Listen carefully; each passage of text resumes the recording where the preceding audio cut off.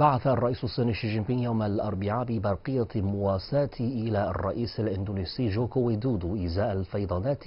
التي وقعت في مقاطعة بابوا الإندونيسية حيث أشار شي جين بينغ في برقيته إلى معاناة مقاطعة بابوا الإندونيسية من الفيضانات التي أدت إلى خسائر بشرية ومادية فادحة. وأعرب شي جين بينغ نيابة عن الحكومة الصينية والشعب الصيني وبالأصالة عن نفسه عن تعزيه الصادق للرئيس جوكو ويدودو وضحايا الكارثة وعن مواساته الخالصة لأسر الضحايا والمفقودين إضافة إلى التعاطف مع الشعب الإندونيسي في معاناته. كما عرب شي جين بينغ عن ثقته بأن الشعب الإندونيسي قادر على الانتصار على الكارثة وإعادة بناء الديار من جديد تحت قيادة الرئيس جوكو ويدودو والحكومة الإندونيسية.